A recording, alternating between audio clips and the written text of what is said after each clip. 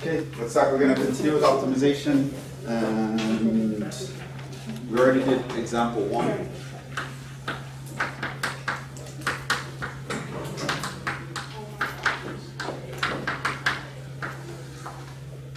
So optimization, basically making something as big as possible or small as possible within some restriction to make our lives better.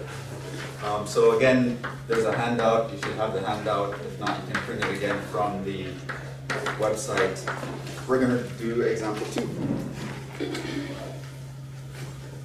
So it says design an open design an open rectangular box with square ends, the left and the right side each square, having a volume of 36 cubic inches. That minimizes the amount of materials for construction. Right? We want to save the earth. Um, so basically, remember our steps with optimization. Um, step one is to read. Make sure you read so you know what you want to maximize or minimize and what your restrictions are. Um, two, Draw a slide. draw a picture. So here they told us the picture is a box. Right? And I know the top is open. Right? So just, you see that. We also know that the ends are square, which means that whatever width this is, that's your height. And then this could be something else, So that's our picture. Now I'm told that the volume is 36. What does that mean? Okay, so that brings us to step three, which means to find our constraint equation and our objective equation.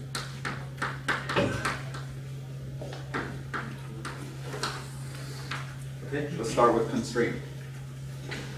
What's our constraint here?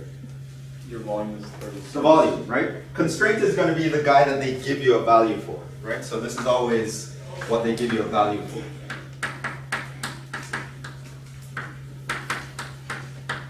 Because once they give you a value, that's automatically a restriction, right? The volume can't be whatever you want. It has to be 36, right? So that's your restriction. That's how much space this box can take up, 36 cubic units, right? So whatever you're given a, a value for, that's your constraint. So our, our constraint here is actually our volume equation. And what's the volume of this box? Length times width times height. Length times width times height. So it's going to be x X squared squared times y. y. And that we're told is 36. So this guy here is your constraint equation. Right? Now you're going to talk about the objective equation. Put this under.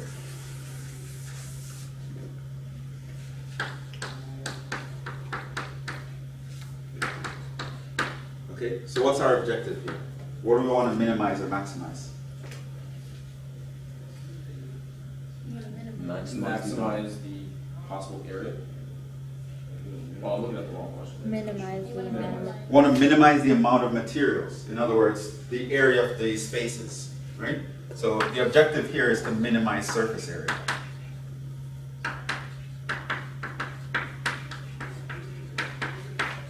How do you find surface area? Well, you basically add up all the all the areas of each side, and then you just add them up. Right, so there, this side is X squared, plus there, the left side, same thing. x squared. There at the back, Um, you might as well just write three x y, because x times y plus x times y plus x times y. well, the back is xy, the front is xy. Um, there's no top, there are only two xy's.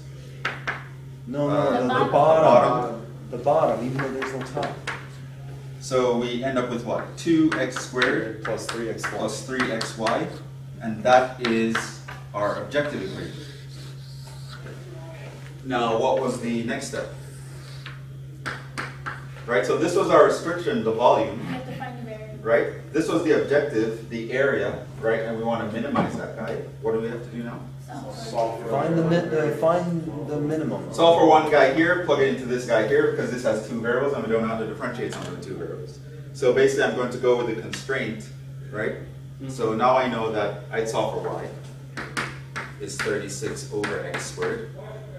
This means my a would be equal to two x squared plus three x times thirty-six over x squared. And then the x's can kill each other. So this two x's kill each other, and I have two x squared plus, um, what's three times thirty-six? It's It's like one oh eight or something. One oh eight over x. That's my area, right? So now I have the objective equation in one variable. Brings me to step five, which is Find the absolute maximum. You need to find a maximum or a minimum, right? Because we want to actually find a minimum here. We know we are minimizing, so we want a minimum value. How do we get that? take the derivative. Find the derivative. That's going to be 4x minus 108 over x squared. And so for critical points, you need your a prime equals 0 or undefined. Obviously, undefined is not going to work. It's undefined when x is 0, and if the side length is 0, we don't have a box. So we're just worried about where a prime is 0. And so we have 4x minus 108 over x squared equals 0. How do I solve that equation? Um,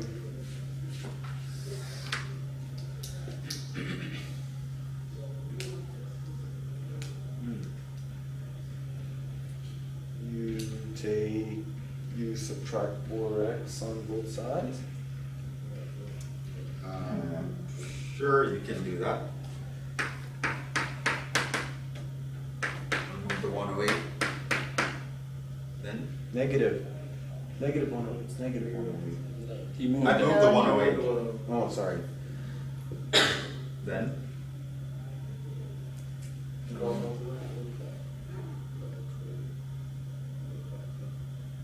then what? X squared times four x. Multiply by x squared.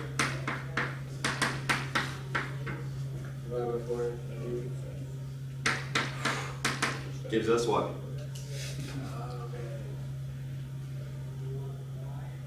Twenty-seven. Come again? No, three, three, three. Cube, cube. What? Cube root. Then you take the cube root. Which is three. So x would be 3. Right? So on top of, here's like, okay, what do we do? Oh yeah, it's x squared y, but here, okay, da da da. Oh yeah, find the derivative, blah blah blah. No problem, solve this. Uh, uh. Algebra, right? Remember I told you guys, the hardest part of calculus is the algebra. This is what you guys get stuck on.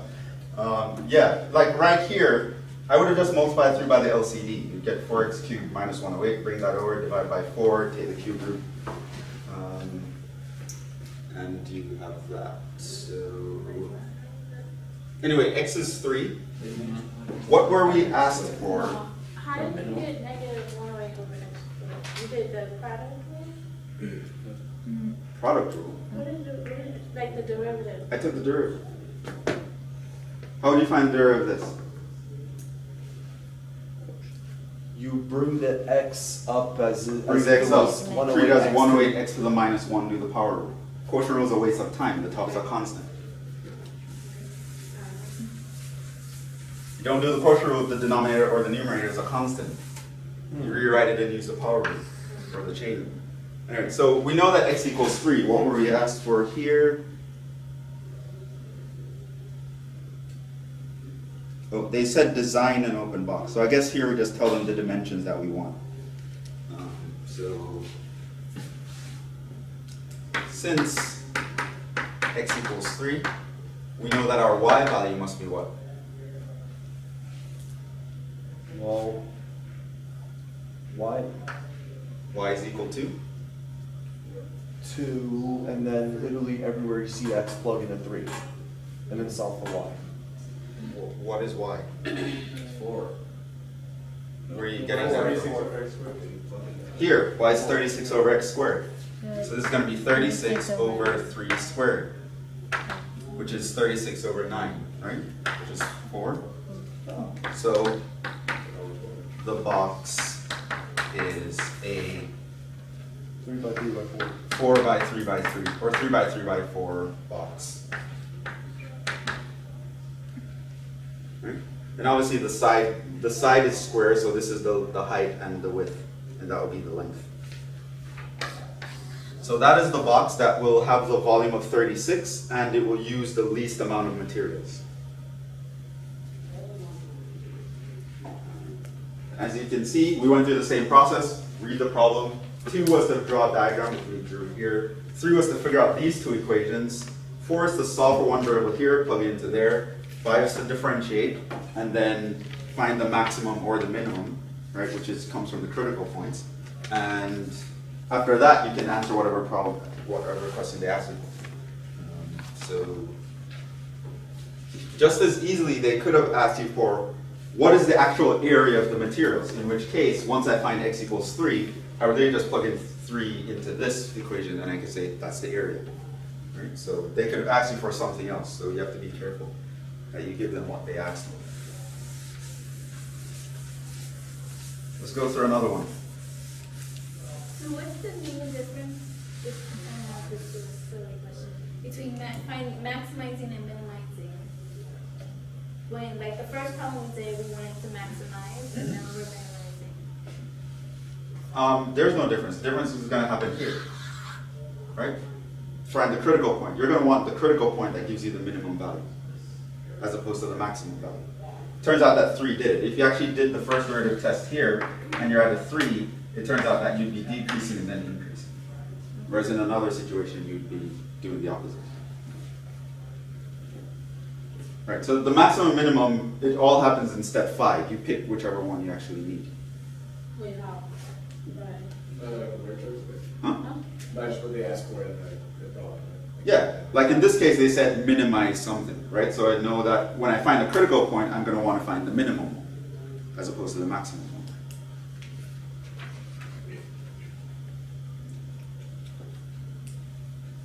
Okay, here's another one. So that was actually from a final. That was from the 2010 final.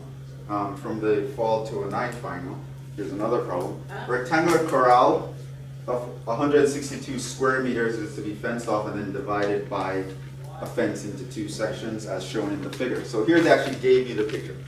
Right, so in example three. So one we were reading. Two, they actually gave us a picture. Right, so this is a fence and they cut it into in two by a, another fence through the middle. Right? Find the dimensions of the corral so that the amount of fencing is minimized, right? So I want to find the dimensions of this guy so that I use the least amount of fencing given, what do I know? What was I given here? One sixty-two meters square, the area? The area, right? So I know that the area that this covers is 162 square meters, right? So the area of this whole thing is 162, right? So three. Going to find my objective, objective and constraint equations. Let's start with the constraint. That's usually the easiest one to find. So let's start there. X times one, What's x, what's y? Um, um, Right, so they gave you the picture, but they didn't label it. You're gonna have to label it yourself. So you're, let's say we call this x and call that height y. And so now I know that area is just x times y, which they gave us a value for that, 162. So that's my constraint equation. Okay? Now let's move on to the objective equation. What is the thing we want to maximize or minimize? We want to max, we want to minimize the amount of fencing needed. Okay, So so what is the amount of fencing? As in relation to this figure? Two x plus 2y or is it 3y, considering it's split in the middle? 3y. This is split, This is a part of the fencing, right? So that's a y, this is a y, and then this whole thing is another x. Right, the amount of fencing is the perimeter of this thing. So the objective is going to be perimeter, which in this case is 2x plus 3y.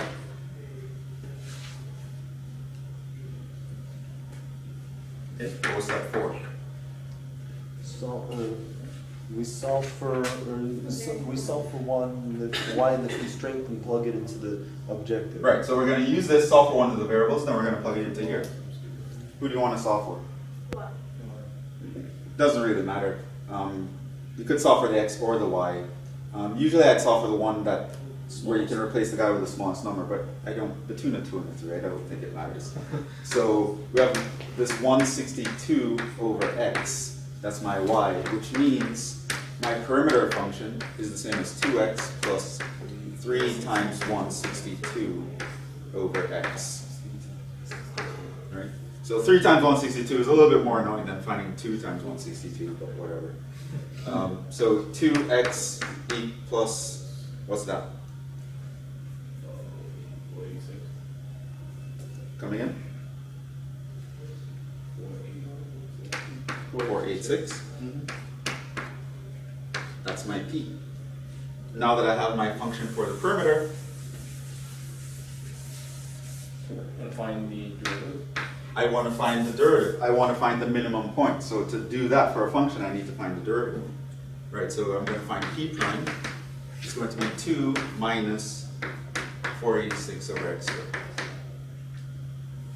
And so I'm going to find the critical points here. This means p prime equals 0 or undefined. The undefined one is not practical. It's undefined when x equals 0, which means I have no corral. So I'm going to worry about p prime equals 0.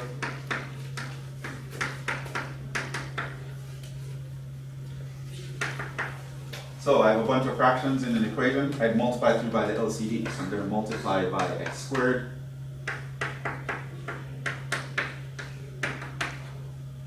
And then I would have 2x squared equals 486. And so x squared would be that divided by 2, which is going to be what? 243. Mm-hmm. And so my x is just the radical of 243. Plus or minus, but we ignore the minus obviously because we're talking about a length. Is that a nice thing? 243? Fifteen point five. Yeah, fifteen, two, twenty-five, sixteen. Yeah. So it's not a nice number. Um, can I divide 3 into it? What do I get if I divide 3? 81. 81. Right? So this is just 9 radical 3.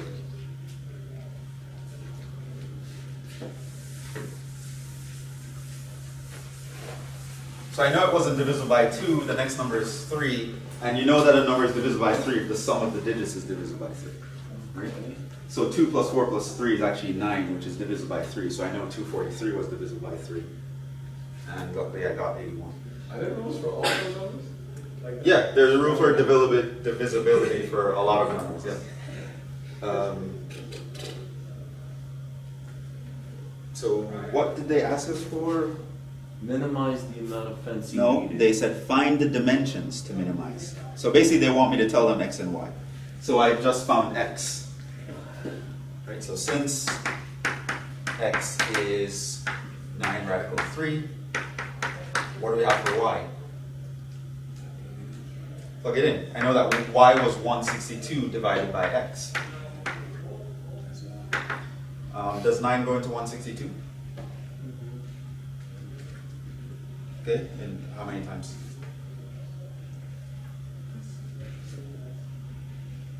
Oh, How many times? eighteen? 18 times? What? Nine, because nine times nine is eighty-one. 9 goes into 16, one time, remainder 7. So you put the 7 here. 9 goes into 72, 8 times. So you get 18.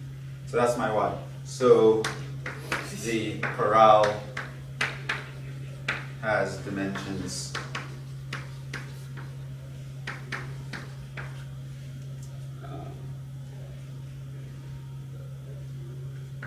9 radical 3 by 18 over radical 3. Length times width. That's the length, that's the width. So that's, that's important, that, that's your final answer. Question, how do you check that? Like, like if we second, like, we take it since we second against each other, so ourselves, how do we check it? Like, is there a way to check it to see if we get the same answers? Uh, check, check what, the, the final answer here? Yeah. Or you just, would you check the area, like? You- check you- By checking the little on one side and the little on the other, and your area Yeah, well, of course, if you multiply this by that, you should get one sixty-two. Um, Yeah, because Other than that, radical there's- threes cancel out, and nine times eighteen is one sixty-two again. Yeah. Um, As well as, you just have to make sure the number kind of makes sense. You know what you're So, you know, you shouldn't get negative numbers or anything crazy like Comma that. y again, But as for the actual value, it's, it's kind of hard to check. then you've done maximum. Just like you test the, you could do a second derivative test on that and find. Oh, you would have done it here, right? So you test this x value. So you could do a first order test or, or, or otherwise. You would duck here that this was a minimum. I'd usually skip it though. Usually, if you only get one possible answer, that has to be the answer. So. Not in this Um, example four. One, read. Okay. A cylindrical can without a top is to be made to hold 8,000 pi cubic meters of liquid. Find the dimensions of the can, which will minimize the amount of material needed to make the can. That is, minimize the surface area of the can. Okay, what do we do? Eight thousand pi is the, value. Well, we read, what was the next thing we should do? Draw a picture. Draw a picture, what are we looking at? Cylinder without a top. Cylinder. No top. Alright, now, what's the, if we were talking about dimensions, what are we talking about for a cylinder? Isn't it pi r squared times h? Right, what I want to get at is what variables we're using. H would be one, the height of the can, and the radius, right? If you tell me the height and the radius, I can describe, I know exactly what size the can should be, right? So that's our picture. Um, three, so we're gonna find the constraint. What is our constraint here?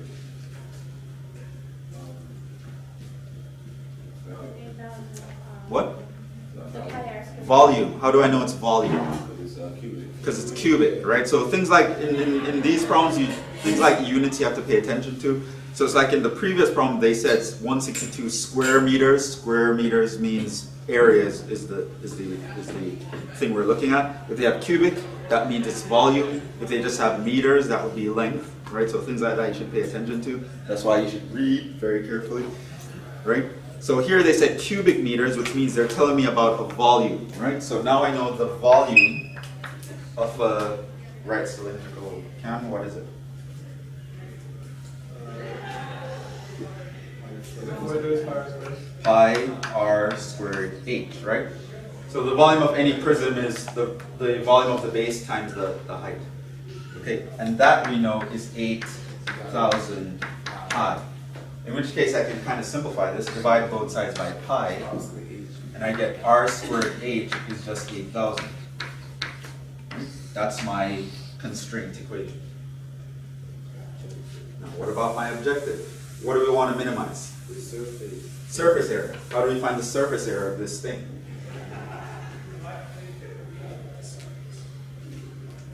Isn't it just the, the area of the circle? No? What about the sides? Area of two circles and the, the radius of, uh, the circumference of the sides times the height. Uh, circumference of the circle times. Yeah, so in general, if you have a can, and this is a very common object to talk about, you kind of dissect it, right? There are two circles for the top and the bottom, right? But in this case, I, I believe they said there was no top. Mm-hmm. Right, so we're not even considering this. And then there's a side here, Which is which a- basically comes from when you take the cylinder and you slice it down oh. and you unravel it, the length around the top is going to be the circumference, right? Which is 2 pi r, right? And then the height is h. So if I take the area here, this is pi r squared. The area here is just a height length times height. So it's 2 rh is the area. And so now the area that I'm looking at is going to just be the area of this guy, pi r squared, plus the area of the side, which is 2 pi rh. And if it had a top, it would be two of these guys, but we don't have a top. Wait, can't you theoretically solve for h since since that originally was a cylinder and circum and, and circumference equals two pi r? Yeah. So that would mean h is just r. No, H doesn't have to be Then like, R. H doesn't have to be R. You can stretch and pull that can in any direction and still get that volume. Anyway, this is my objective, right? What's the next step? Solve for. Someone here, plug it into that guy. Who do we solve for? The H, because I don't want to have to take a radical, right? So I'm gonna be here, I'm gonna have H is equal to eight thousand over R squared, which means that my A would be pi R squared plus two pi R times H, which is eight thousand over R squared. This R will cancel one of those R's. So my A is pi R squared plus pi times Sixteen. sixteen thousand over R. Now if I take A prime, which is the next step, so we're on step five now, I'm gonna find the derivative because I need to find the minimum. How do I find the derivative? well, that's actually It's the a constant times a variable, so. Because the constants go up. What? What's the derivative of this? Derivative pi zero. Yeah, sure. So it's two R, two R, two R plus. Two pi R plus, Without the constant, it's a constant. yeah, it's a, you just keep. See, That's good, what? Like all together. right? If I had like um, three x squared, what is the derivative? Oh. Right? The three stays there, and you take the derivative of that.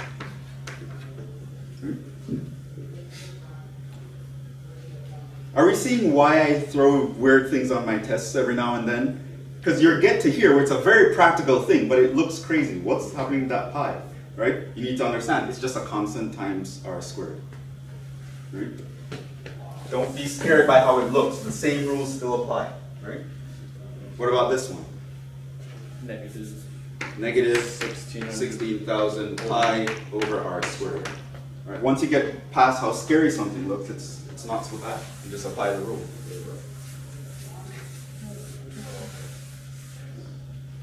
And so now, find critical points. 2 pi r and 16,000 pi over r squared equals 0. Right? So it's 0 or undefined, but the undefined would give us r equals 0. We wouldn't have this, so we know that this is where we're going to find our critical points. That might look scary, but it's a fraction. What do I do with any fraction in an equation? Multiply by the LCD. It doesn't matter how scary it looks, so I'm going to multiply by r squared. I'm going to get 2 pi r cubed minus 16,000 pi equals 0. Move this guy over there.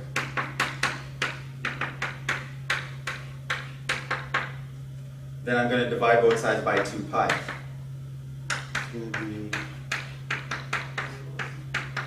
It's gonna be Pi's will kill each other. 2 goes into this 8 times.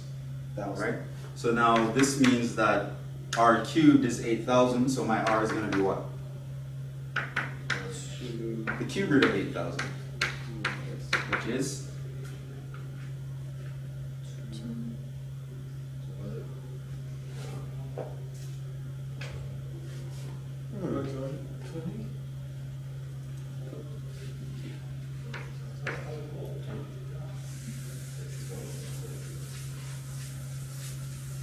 right? Because the cube root of 8 is 2. The cube root of 1,000 is 10. R is just 20 um, inches or meters or whatever. And so, what were we asked for dimensions? Find the dimensions, right? So now I know what my radius is. So my radius is 20, which means that my height is eight thousand over twenty squared, right? Which is gonna be what? Eight thousand over four hundred, but then it'll be like eighty over four. Thousand over four hundred. So eighty over four is also twenty. So my h is twenty. So those are my dimensions.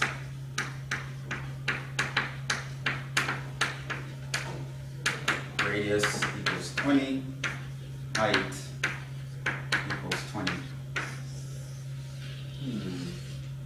Short spot. Hmm? Yeah, I have a question. yes. How'd you get plus if that one, if it's the area? I'm adding the areas. Okay. It's the area of the, the bottom circle plus the area of the side. So I add them together. Okay. I dissected the can into pieces Mm-hmm. and then, um, Okay. so the idea is like you make a can by, you take a rectangle and you really just connect it end to end.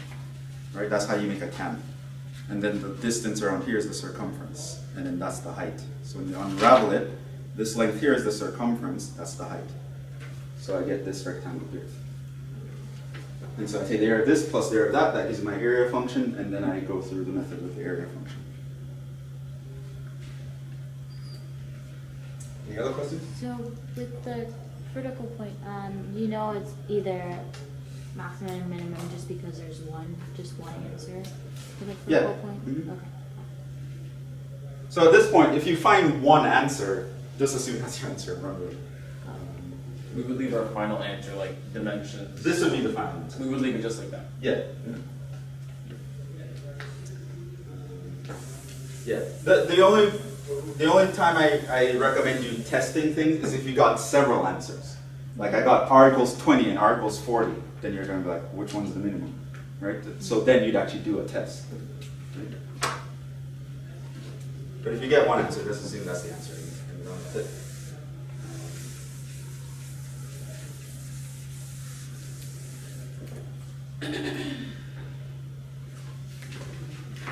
Example five.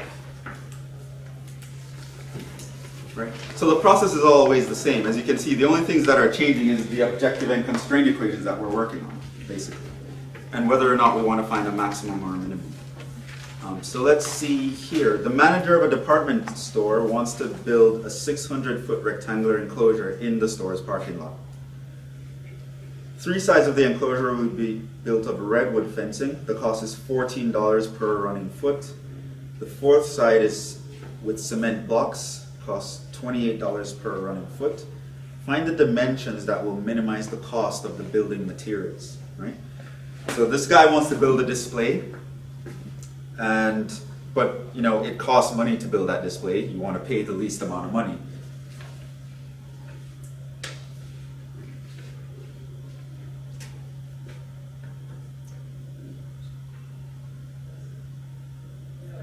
Okay, so this was taken from a final, but I believe there's a typo.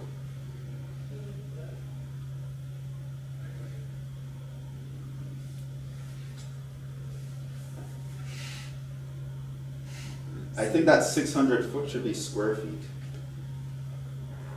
Area? Yeah, like an area, right? Like saying a 600 foot rectangle. Enclosure makes sense for square foot. Yeah. And so I think there was a typo on this final. Wow. I freaked out.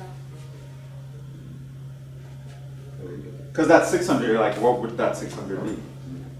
It could be the perimeter. If it's just foot, it's gotta be perfect. Yeah, but you wouldn't describe an enclosure by. No, it would be, that would be area. That's it's kind of weird to describe it that way.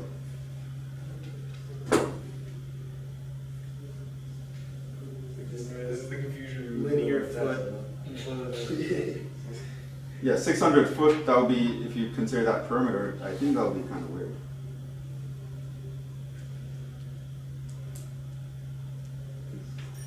I don't know. Let's see. Is question six pretty similar? Hmm? Is question six pretty similar? Because if that's the case, just skip the Uh, six. this shit. I want you guys to try that one on your own though. Which one? Question six and seven.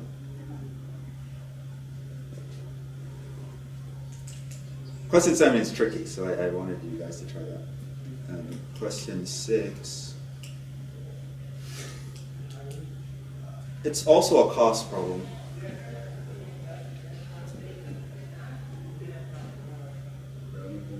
So we could, um, Just do seven. no, I'm not gonna do seven. I want you guys to try seven.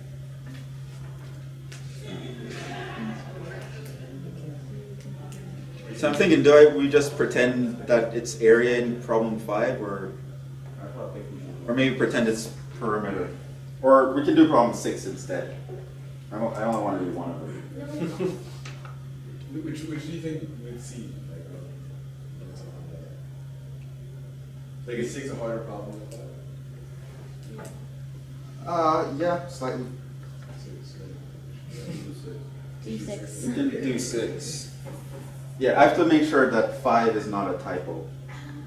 Because it's kind of weird that they tell me perimeter there.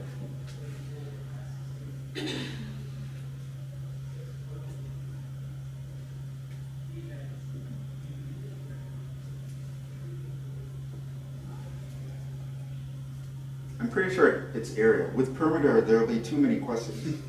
Because then you don't know, do you want to maximize the area while minimizing the cost or, or what?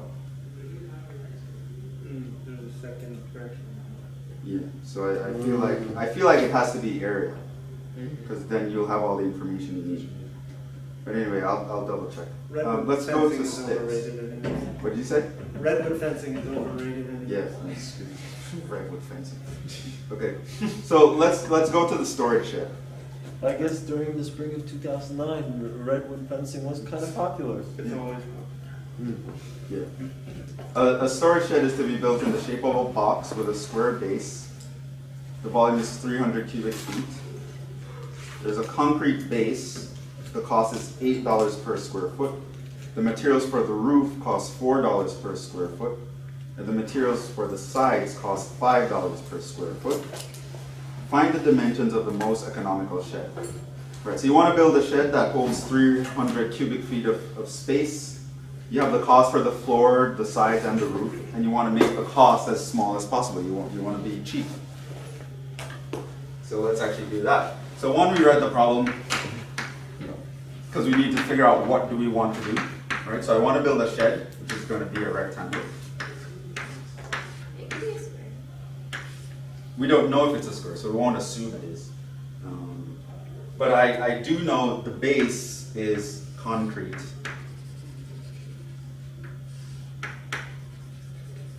Right? The roof is some other material, and the sides is some other materials. So I know that this guy here costs Four dollars. Oh, we are told that there's a square base, so this would be x, that would be x, this would be y. Now the roof, let's pull out the information here. Four dollars. The roof costs four dollars per square foot, so this is four dollars per square foot to build that. The concrete base Eight dollars.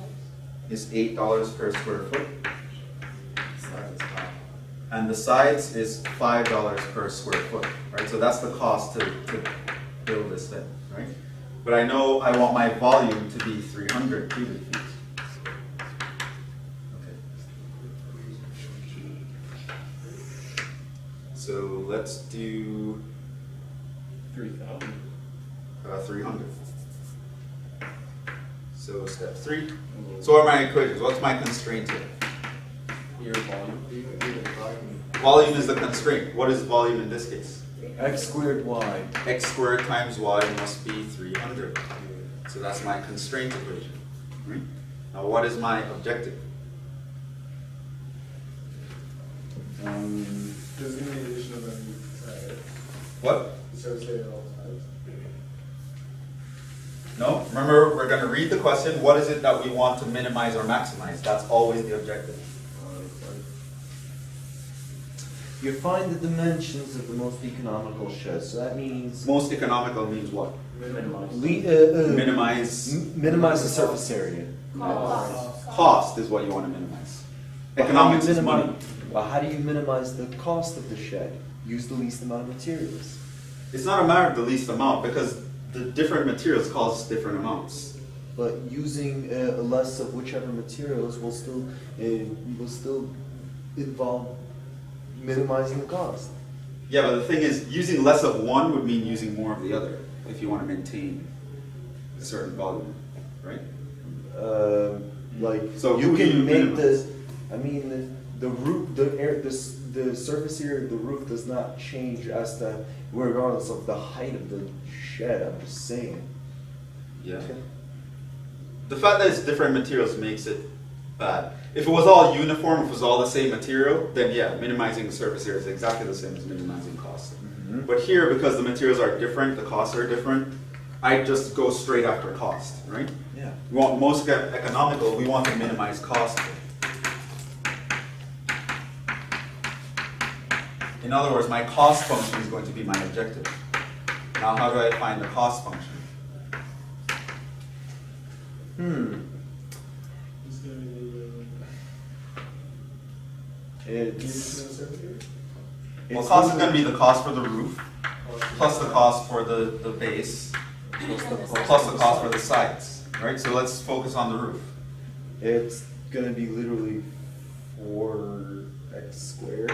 Four x squared, right? The area of the roof is x squared, x times x. And then for each of those, it's four is the cost, plus the base. The base is again squared. x squared, but the base costs eight dollars. Plus, what's the sides? I know there are four sides, right? And they each cost five dollars, and the area is going to be X Y. x times y. So my cost function is going to be 12x squared plus 20xy.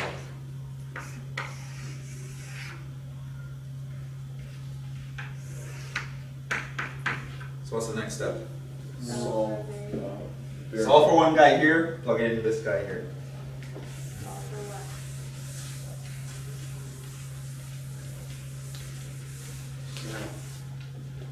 So we know that y is equal to 300 over x squared, which means my cost function can be written as 12x squared plus 20x times 300 over x squared.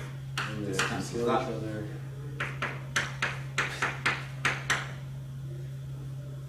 Excuse me. Uh, let's see. What is that, 6,000 thousand. over x? Fifth step is to find the critical points so I can know where the minimum is. So I'm going to find derivative. Derivative of this is derivative of this.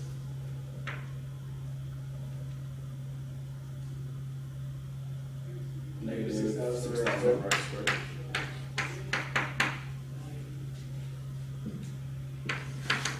So now for the minimum, I'm going to set c prime equals 0, which means 24x minus 6,000 over x squared is equal to 0. I'm going to multiply both sides by x squared to kill the fraction.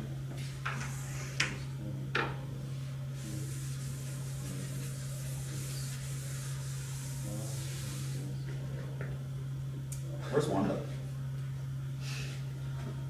Um, so now we're gonna have twenty-four x cubed minus six thousand equals zero. This means x cubed equals six thousand divided by twenty-four. Um, does that go into it exactly? That's easy. No. Ish. Yeah, two fifty. You can just like keep reducing by two or four until you get down to the answer. So that's two fifty. So x is gonna be the cube root of two fifty, Let's see what that is. which is going to be five five cube root of ten or something like that. Like six fifty. Yeah, it's like six, some, that was something crazy. Um, so that's my x. What were we asked to find? Find the dimensions of the most economical ship. Okay, so dimensions mean I need to find the length and the width and the height. So this gives me the width and the length. So the height is what I need. This means that y is equal to three hundred over x squared.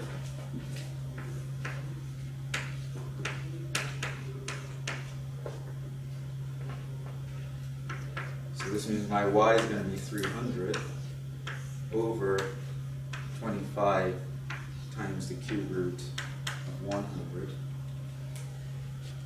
Twenty-five goes into three hundred, how many times? Sixty.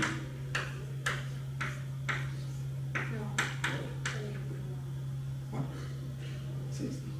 Because twenty goes, uh, because, because five goes into one hundred twenty times, and we have three hundred, so 20, 40, 60. What was the number you was asking? Three hundred. Oh. Did you? You got sixty quarters to make three dollars? Well. Yes, that's a, that's a good, how many quarters does it take to make three dollars? Twelve. Twelve, Yeah. twelve quarters. Yeah, say twenty-five into thirty goes one time, the remainder is five. Twenty-five into fifty goes two times, so it's twelve. And so, finally, dimensions. Um, It's going to be five cube root ten by five cube root ten by twelve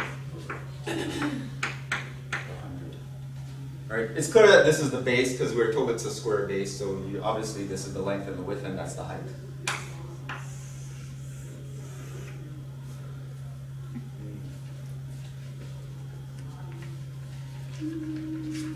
So when people actually construct these things, they get like people who know calculus to like make it. Yeah. Or, um, what's typical now, it's, you'd have someone who programmed it, this in a computer model. Right, but if you're, you're doing something that's never been done before, this is the kind of analysis you go through. It's. But people build rectangular structures all the time, so they have this built in somewhere into some Excel program or something. Yeah. But then if you want to build some curved structure with some fancy design, you're going to start putting it to pieces together like this. It's also asking for a cost, so we would just plug the x and the y into the cost function that we created. Yeah, so there's that last part here. I said, how would things change if the last sentence asked, what is the cost to build the most economical ship? So the actual problem ended right there, but I added this problem for you guys to think about. Right? So that's the answer to the dimensions, but I said, how would things change if the last sentence asks, what is the cost? Wouldn't we just go back to the original cost function and punch in? Go, go back to the original cost function and function x. So, um, so this is a totally separate problem here. If we were asked for cost, then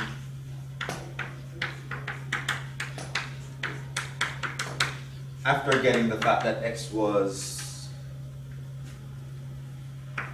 five times the cube root of ten, what we would have done, we wouldn't have done this.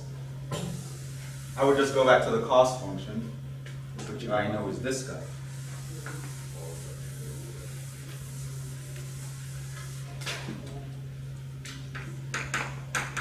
Since c equals twelve x squared plus six thousand over x.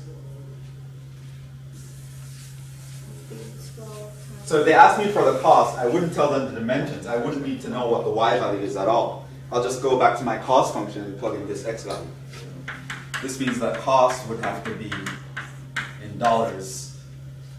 Twelve times five cube root of ten squared plus six thousand over five cube root of ten. And that would be whatever. And that would have been your answer. Right, so based on what the last sentence says, your answer can be completely different. That's why you have to make sure you read and, and, and pay attention to exactly what they're asking for. Did they ask for dimensions, or did they ask for the cost, or did they ask for, they could have asked for what, how tall should the structure be? In which case, your answer would be the Y value, right? That's, that would be what you box, right? Or something like that.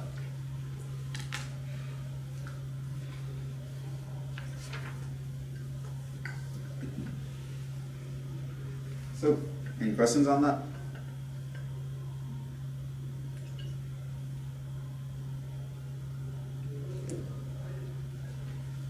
But you kind of see optimization, it's always the same process. Where the differences arise are, of course, with your diagram and the equations that you make from those diagrams. But once you have those equations, you always do the same thing. Solve for one variable in your constraint, plug it into the objective, differentiate to find the max or the min. Right? And at the end of the day, you answer whatever question you're specifically asked for. So if I ask for dimensions, that would be the answer. If they ask me for cost, this would be the answer. Right? So the final step can be different based on what they ask for. But the process overall, it's, it's always the same. It always goes through those six steps that I gave you in the handout. Um, Yeah. So, What kind of shapes should we focus on? these kind of shapes. Boxes, rectangles, cylinders. Cool. So no. Cones, I, I don't think I'd ask about a cone. I think there was one formula, there was one file that asked about a cone, but I wouldn't ask about a cone. So boxes, cylinders, and rectangles? Yes. Is there a general logic that follows the, uh, the optimization of space? Like, um, generally a circle has a larger area than a square of the same dimensions, right? Um, And so generally, the four-sided shape of a rectangle, will, uh, square will be the maximum enclosure of a rectangle. Well, it depends. Are you considering radius or, or length? But no, like those those aren't rules that you'd have to have in your head. Like the calculus will work itself out. Right, right. It's not something you'd have to worry about. But it seems to always be pointing to a, a kind of a, a truth. Capital Yeah, probably. But it's not something I think you'd have to worry about. Like you do fine without considering that at all. Like we didn't need to consider that. How did this volume of this rectangle compare to the volume of a cylinder of the same height? Like we never had to think of that idea to solve anything. It's just it wouldn't be worth your time to look up those rules. Well, that's how this, this stuff transcends the uh, classroom. Yeah. But for, for now, we, we don't need that. Um, That'll be another, in other cases, that might be relevant.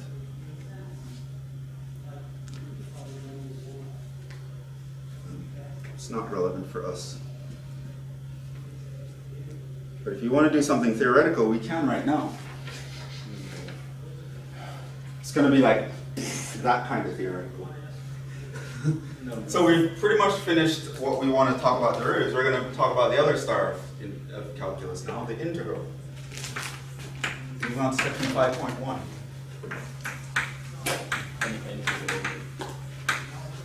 The integral and antiderivatives.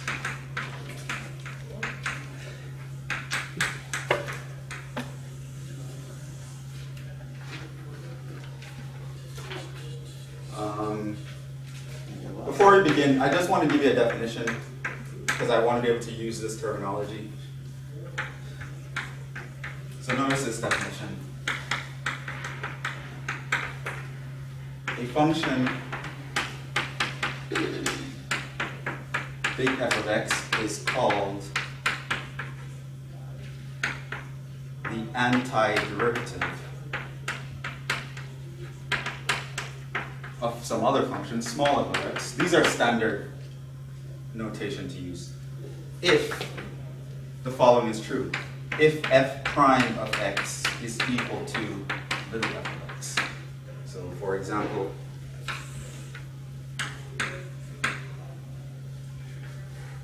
uh, I shouldn't use the word the here, because it's actually not unique. It's called an antiderivative. Each function can have many, many antiderivatives. So I'm going to give you an example. An example is um, x squared is the antiderivative of 2x, since if I differentiate x squared, the result is 2x. So you can think of antiderivative as kind of reversing a derivative. So if I undid the derivative of this guy, I would get that guy. It's called the antiderivative. If I take the antiderivative of 2x, I get x squared. Um, another, another example, x squared plus 5 is an antiderivative of 2x.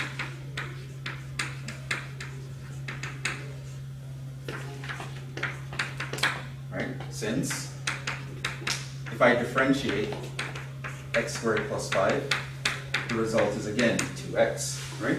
There are many functions I can take to get the derivative of 2x, right? In general, the function y equals x squared plus c, where c is any constant, is the antiderivative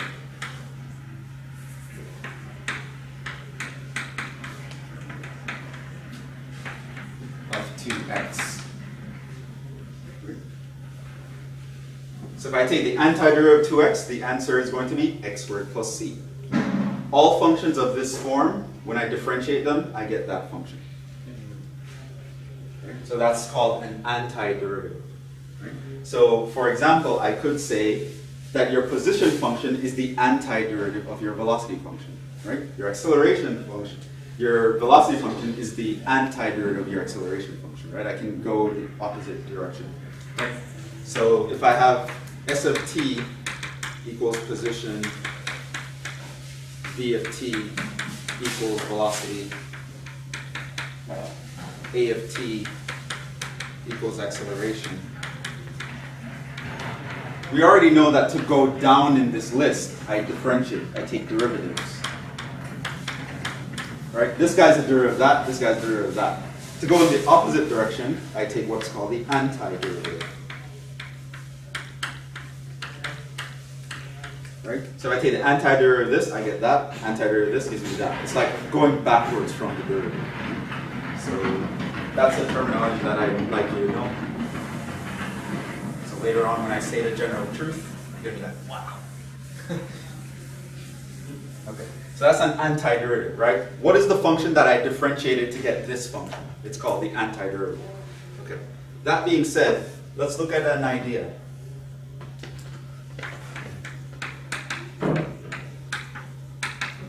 Let's say, let's go back to position. Let's say my position function is 3t, right? This is a position function.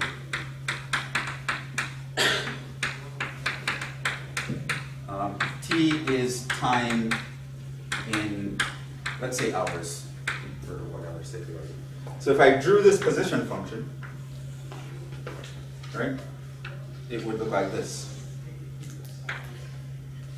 So this is s of t equals 3t. This is s of t. This is time in hours. I can consider this up to any point, but let's say I consider it up to three hours, between zero and three hours. Okay, everything's so fine. Nothing, nothing, nothing scary so far. That's just a normal position function. No one be scared. Right, so this, and let's say S of t is in miles or something like that. So what is it saying? When after one hour, how many miles would I travel? Three, Three, right? After two hours, how many miles would I have traveled? six, Six. And after three hours, I would have traveled nine miles, right? So I'm moving at a speed where this is how, many, how, how, how far I've moved after a certain amount of time. Okay, that's cool. Um, now, what is v of t? three. Right, my v of t is 3, right? Just the derivative of this guy. So that's the speed I would have to be moving, right? 3 miles per hour, right? So after one hour, two miles. Now I remember that YouTube video again. Okay. Um, so what would that function look like? Just a straight line at three. What do you mean a straight line? Horizontal, right? So at 3, there's a horizontal line, right? I have a constant velocity of 3. Okay, so far so good. Again, let's consider this between 0 and 3. Okay, now here's going to be some questions, and you're going to wonder, why am I asking these questions? I know that we are. Huh? I bet we are. Okay. So here's my question. Um, what is the distance traveled?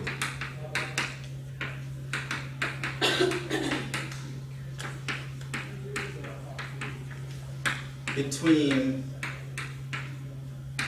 t equals 1 and t equals 3. Right? If I start measuring the distance I've traveled between 1 hour and 3 hours, how far would I have driven? 6, right? How do I know? Well, I take, find my distance that I've reached at 3 and subtract the distance that I already covered after I've been at 1. This will be 9, that would be 3. So 6 miles would be the total, right? Which here you can see, between 1 hour and 3 hours, I traveled from 3, a position of 3 to a position of 9. So the distance I covered was 6. Okay. So that was the first question. Here's another question. What is the area under velocity between t equals 1 and t equals 3? Right? So go to this velocity function, find 1 and 3, right? What's the area of this portion?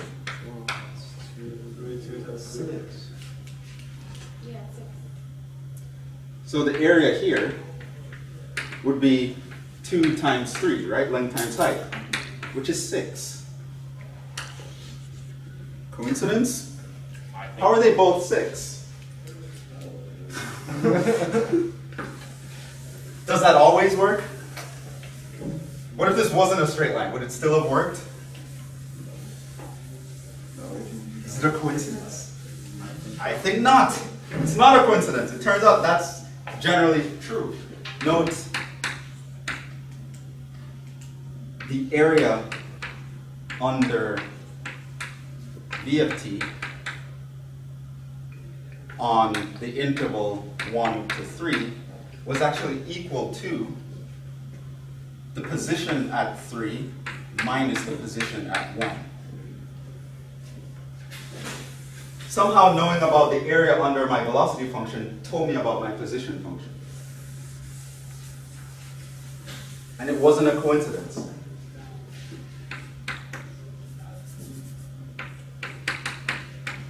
It turns out this is true in general.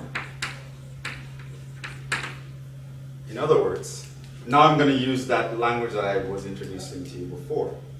The area under some function f of x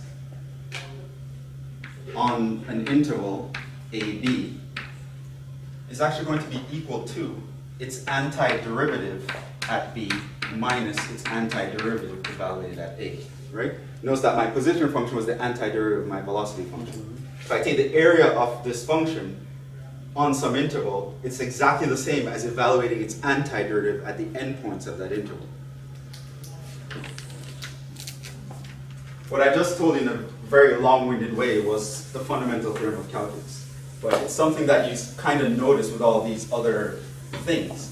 And this is true in general in any interpretation. So for example, if I find the area under the marginal cost function, it will actually give me the cost between I spend, how much money I spend between this point and that point, right? I can figure that out by looking at the area under the marginal cost function, right?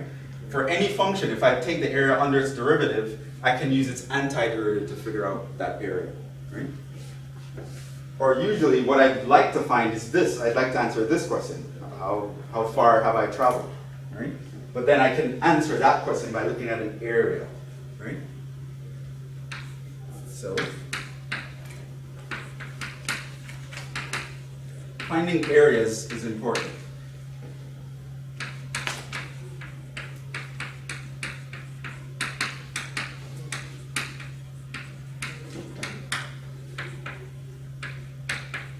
For this and other reasons, of course there are tons of reasons why you might want to find the area.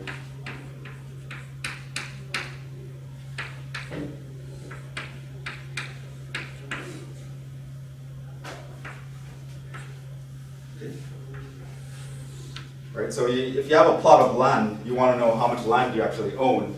Odds are it's not going to be a perfect rectangle where you can be like, oh, I own this much land. Let's take the length of my land by the width of my land. No, your land is going to be this weird thing that you're going to want to know how to find the area of, right? We're often going to want to know how to find the area of something. And these things might have weird shapes. So, given um, f of x, right? So a random function, boom, f of x. I can ask the question, what is the area under this curve between a and b?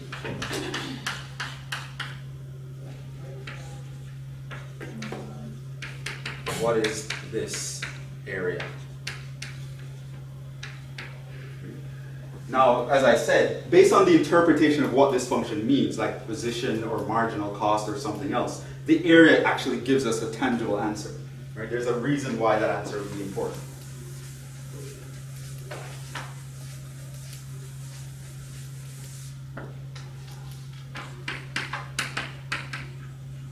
This leads to what's called the area problem. There are too many problems that, there are two problems, not too many problems, there might be too many. There are two main problems that calculus seeks to answer. The rate problem, how fast something is moving. You solve that problem with the derivative, right? Derivative tells you how fast something is moving. The next problem is the area problem, and you solve that with something you call an integral, right? Which turns out to be an antiderivative, as we're going to figure out. Took hundreds of years to figure that out. It's not a, it's not a trivial fact. Um, and we're going to be doing it in like 20 minutes. um, so the area problem is going to be a very important problem. How do you find the area of something, right? Some random curve, right? Um, if your function is nice, like a triangle or a rectangle, no problem. But what about it's something else, right? Then it becomes a, a little bit of a problem. So Uh, it's like a weird, like F-shaped curve with uh, with your starting number on the top and your bottom number on the bottom, Yeah. and then your function and a dx at the end. yeah, Exactly. Yeah, exactly. um, so we're going to we're going to try to figure that out. And so what do we do with math when we want to figure out something new? Use something simpler that we already know how to find the area of, and somehow build up. Exactly. That's that's exactly how math builds on each other. Right. This is kind of why conceptually, if you want to get good at a math class, the point is to get good at the simple stuff, the basic rules. Because once you have those, you can build on them. Right. So it's the same way, how did we figure out the area of a circle? Right? It turns out, if you looked at the proof for the area of a circle, they start by knowing the area of a rectangle. And then they use that to figure out the area of a parallelogram. Then they use that to say, well, if we slice up this circle into a bunch of pizza slices and rearrange them, they kind of look like a parallelogram. And then you apply that logic to figure out, oh, the area is pi r squared. Right? So if you look at that, that's what's going to happen. And we're going to do something very similar here. I don't know what the area under this random curve is, but I do know the area of a rectangle. So what we're going to do is we're going to use rectangles in the beginning to approximate area.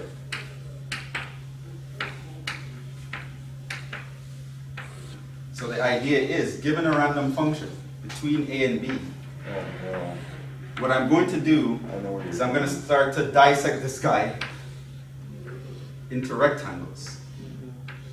Those guys I know the area of, right? Length times width, right?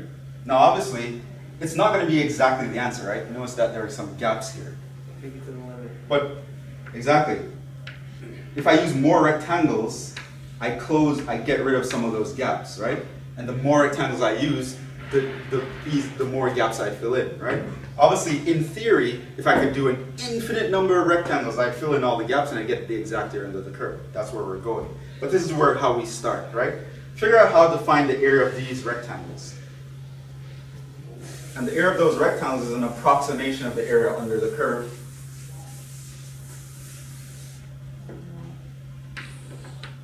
So the idea is the sum of the areas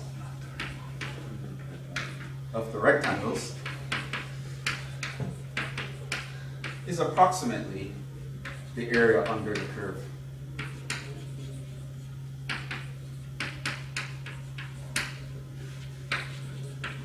The more rectangles we use, means the better our approximation is.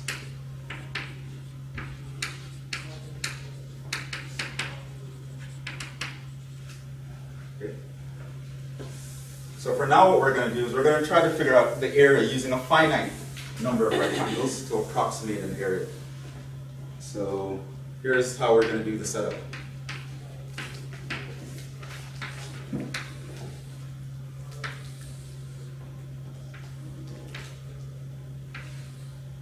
I'm going to cut A and B into what's called subintervals.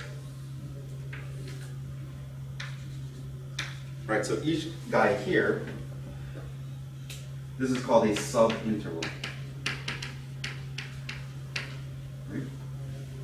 And this, this, and the distance between each subinterval, the length here, I'm going to call it delta x. It's the change in some x value.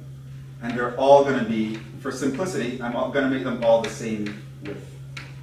They're all delta x. Right? So the idea is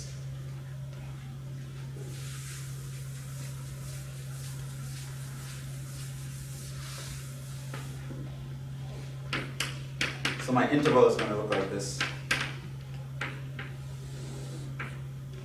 Here's my A, which I'm going to call x naught or x zero. Here's my B, which I'm going to call xn, and I'm using n rectangles. So this would be my x1, x2, x3, all the way up to xn, and the distance between each of these x values is delta x.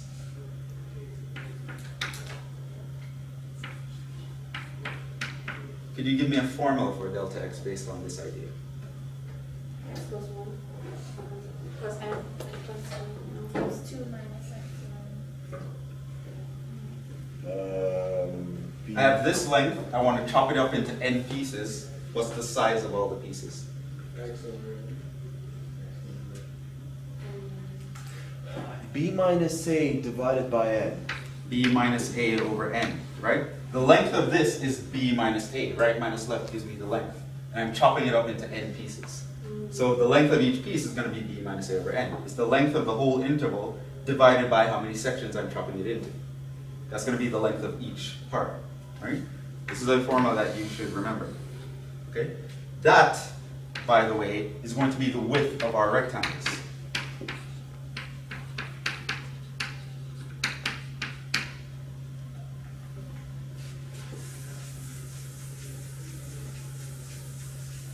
So I, I developed a concept that I call delta x, the change in the x values. That is defined to be the width of my rectangles. It will always be given by this formula, b minus a over n. Take the final endpoint minus the initial endpoint divided by how many subintervals you want or how many rectangles you're constructing. That will give you the width of all the rectangles. How many, how, um, do you know what the n is? They'll tell you. Oh. So we'll tell you. So the question will say, use four rectangles to approximate the area. Or use four subintervals to approximate the area. So I'm going to give you a number.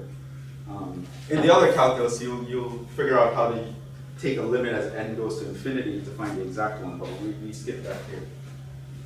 Um, so yeah, that's the width. How would I figure out the heights? Same thing, but So here's my rectangle, A and B. I know the width of each of these guys is delta x that we've discovered, and I know exactly how to find that, right? But what if I said something like this? So here's my x0, here's my x1, x2, x3, x4, and b in this case would be x5, right? And let's say I choose the point that the right side here is going to give me the height of this rectangle. Where my lines intersect the right side gives me the height.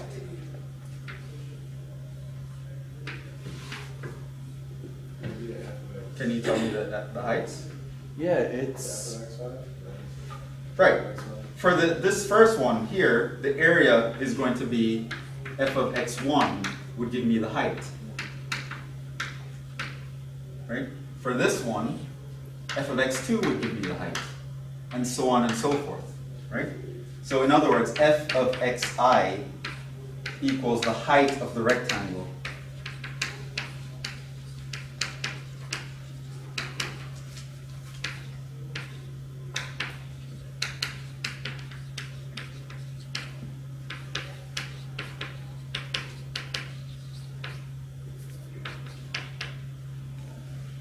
That's basically it.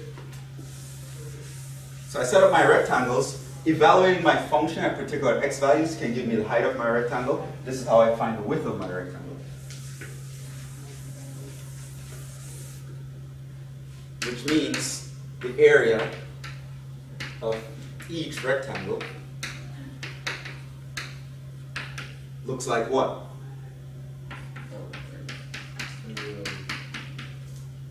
f evaluated at some x value times delta x, right? This is just the height times the width. Now the question is, how do we choose these xi?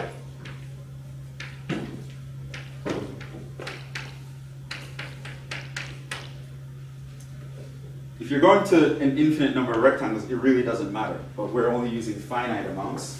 So the short answer is, they're going to tell you exactly how you choose them.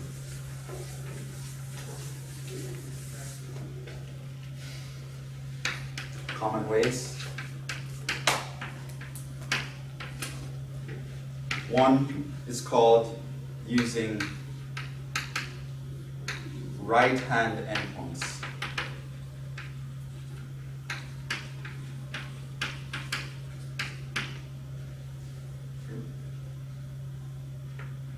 Um, this is referred to as R little n in your textbook. So if they say R4, they mean use four rectangles with the right side de- determining the height.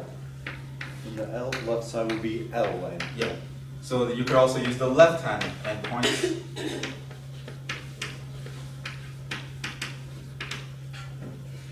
Um, this is basically ln. Third, another common way is using midpoints, And. Which your textbook would refer to as mn. So um, let me show you the differences between the two, between the three. And then hopefully we get through one example or so. And we'll pick up, pick it up tomorrow.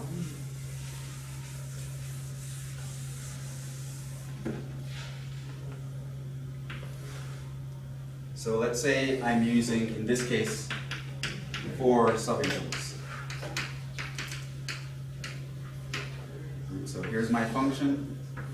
I'm here, A, B, and I'm cutting this into four sections. Right? Now, if someone says use R4, right, meaning use the right-hand endpoints with four subintervals, what's going to happen is here's my A, here's my B. It's cut into four sections. The height is determined on each interval by the right side. Right, so I'm going to go here on the right. That's where the height is determined by. Here, the right side is where the height is determined by. Here, the right side is where the height is determined by. Here, the right side determines the height. I could also do another case. I could say, what is L4 for this function?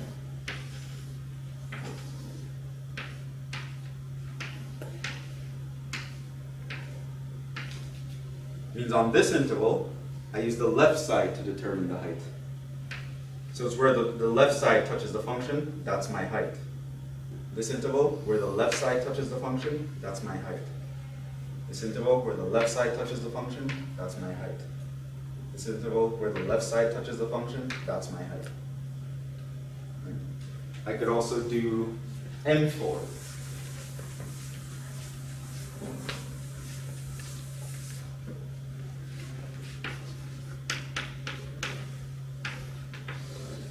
means I have my function, here's A, here's B, cut into four sections.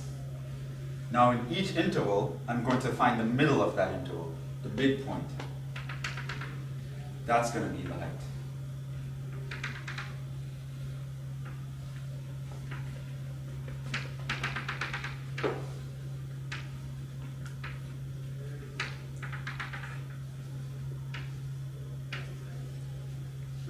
So these are very three very common ways to, to find the height of our rectangles. Now, when you notice what's happening here, for this particular curve, it, will be different for each one. is your R4 going to give you a bigger or smaller answer than the actual answer? Bigger, right? Notice that in this case, R4 gives you an overestimate. Whatever answer you get using R4 will give you larger than the actual number is. L4 clearly gives you an underestimate, mm-hmm. right? So you're clearly missing some area here, so that will actually give you a smaller answer than the actual area. M4, in this case, tries to remedy that. In some cases, it takes a little bit bigger and then takes a little bit less on that side, so it kind of balances out, right? So depending on your function, if my function was actually decreasing, the exact opposite would happen. This would give me an underestimate, that would give me an overestimate, and this would kind of be somewhere in the middle. And your function could be a combination of these two, right? So it's not always overestimate, underestimate. It depends on the picture, right? But this is um, three main ways that we used to find um, the heights of our functions, right? Depending on what x value we want to plug in, if you want to plug in on the right side or the left side or the middle. right? So over here.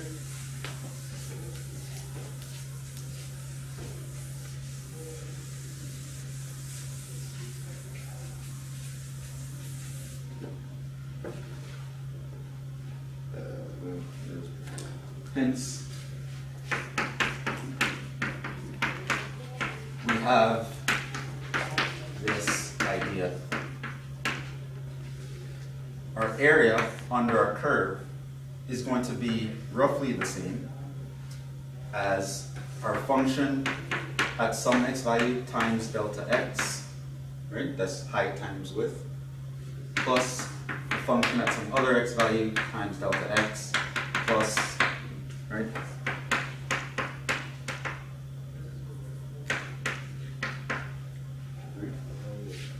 Where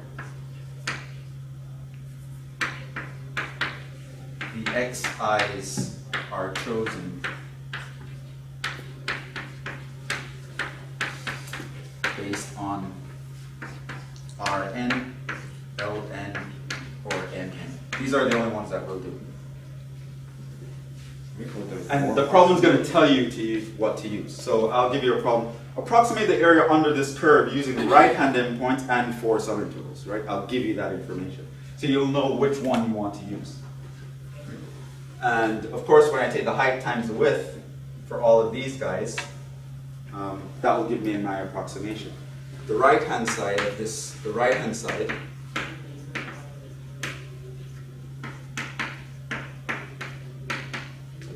of the above expression, right, this thing here, this expression here is called a Riemann sum. This guy inside. Obviously, some of us are familiar with the Riemann sum. Yes. Right, it's named after a German mathematician, Bernhard Riemann, which studied under the legendary mathematician Carl Friedrich Gauss, which was smarter than all of us are in math by the time he was four years old. It's a good hypothesis. Including me. I'm not even I'm not even kidding. Wait, what was the language again? Say it again. Sorry. Gauss is the name of the mathematician. Right? When he was four years old, he was figuring things out that people many years older than him couldn't figure out. Um, so, so yeah, it's called a Riemann sum, right? So let's actually. Toys, no extracurriculars. Nope. No PlayStation 2, Nope. no iPhones, no Pokemon Go, just math. Yeah. There's a story how when he was in kindergarten, his teacher gave them to keep the class quiet. She gave them the um, the task to add all the numbers from one to a thousand. 100, I think it was. I, I don't know. It's, it's a big number Yeah. for kindergartners. It would take forever, and he did it in like a few seconds. Yeah, because he figured out a formula how to add the first n numbers. Right, so we have 1 plus 2 plus 1,000. He figured out, well, what if I took the numbers in the opposite order? Right? Notice that what you would get is, you add these, you get 1,001. You add these, you get 1,001 again. You add these, you get 1,001 got the last one, you get a 1,001. You get all 1,001s. But how many numbers were there? A 1,000 numbers. So the sum is just a 1,000 times a 1,001. Well, you added the list of numbers twice, so you divide by 2. That's the answer. That's why you had 1,000 numbers. yeah. Yeah. yeah, so so he did that and he's like, yeah, I I added all the numbers. Everyone else is there like, one plus two is three, plus three is six, plus four is ten. Yeah, he said, no. That's how a mathematician adds numbers. How would you hit like that? And it actually works in general. So you, the first million numbers is not any harder. You can go up to n. These would always give you n plus 1 when you add them together. And so the final answer is always going to be n times n plus 1 over 2. No matter what it is. At the first million number, substitute a million here. If At the it's first a- billion if number, it's an substitute a odd billion. number, it changes your formula, right? No, same formula. If it's an odd number, Yeah. Because either this number or this number will be even. You'll always be able to divide 2 into one of them. So if this is even, that's odd, you divide the 2 into this. If this is odd, that will be even, divide the 2 into that. It'll work no matter what. Like, no matter what, this is the way to do it. Anyway, here's the example of a problem. How it might look. So I might say approximate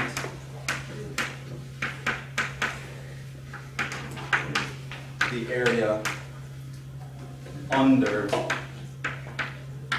f of x equals x squared plus 1 using four subintervals and right-hand intervals. It's a lot easier than I made the theory seem. Like once you figure out the theory, it's, it's not going to be bad. And the good thing is, this is another one where I'm not going to be creative in how I ask the question. I'm literally going to ask you like this. Approximate the area under blah, using blah, and here I'm going to either say right, left, or midpoint. I'm literally, I'm going to swap this out. I'm going to swap this out, and I'm going to swap that out. But the question is going to look pretty much like this. Right? So that's the example of my problem. So here, remember what this, this, fun- this function actually looks kind of like what I was doing before. Um, I have to give you the interval as well. On the interval, um, let's say 1 to 5 to make it interesting. Okay? So here I'm at 1, here I'm at 5. I want you to approximate the area between those two points under this curve using four subintervals. Right? So using four subintervals means I'm going to split this guy into four. Right? And then the right side is what I'm going to use. Now the question is, what is my delta x here? 1. Right, delta x is b minus a over n. b is 5, a is 1, n is 4. So this is literally 1. Which means the length of each of these is 1, right? In which case, I can figure out these x values, right? What will be this x value? 2, and then 3, and then 4, right? So I know I start at 1, and I'm moving a distance 1 each time until I get to the end, right? So those will be the numbers. So I'm on the interval. So this is my interval now. 1 to 5. I have 2, 3, 4. Now if I'm taking the right-hand endpoints, what are the x values that I care about? The two, the three, the four, and the five. These guys. Right? On each interval, I'm taking the number on the right side. When I move to this interval, I take the 3. Move to this interval, I take the 4. Move to this interval, I take the 5. I'm going to ignore the 1 because the 1 is on the left. Right? And I'm taking the right. So these are going to be the guys I'm going to evaluate my function on. So my a is literally going to be delta x times f evaluated at 2 plus f evaluated at 3 plus f evaluated at 4 plus f evaluated at 5. Right? So this is the width times the height times the height times the height. So my delta x is 1. my area is going to be approximate. So my area, I mean, I don't really care if you. My area is approximately equal to R4, which is equal to this. So what is f of 2?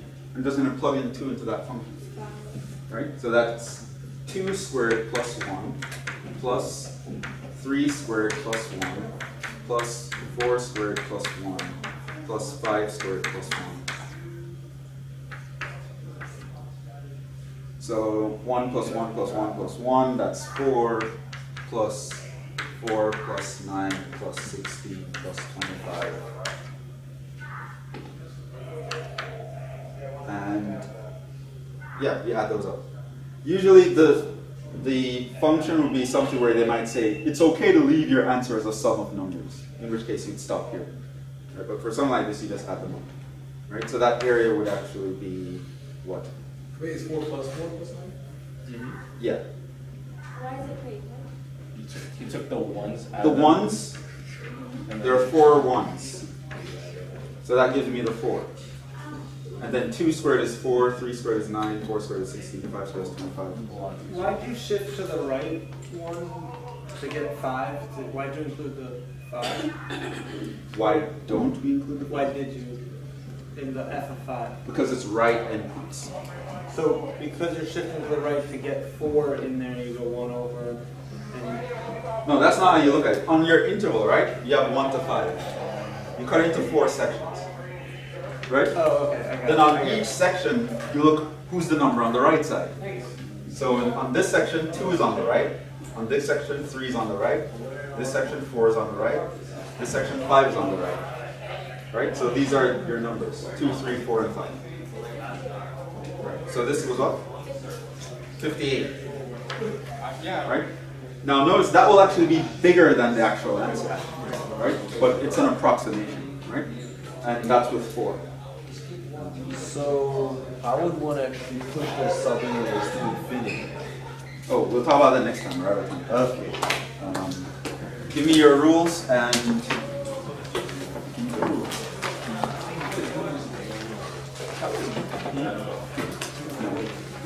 I'm sure the theory was scary, but then when you when you actually do this problem, it's, it's not. Yeah, a, it's not. What is? Yeah.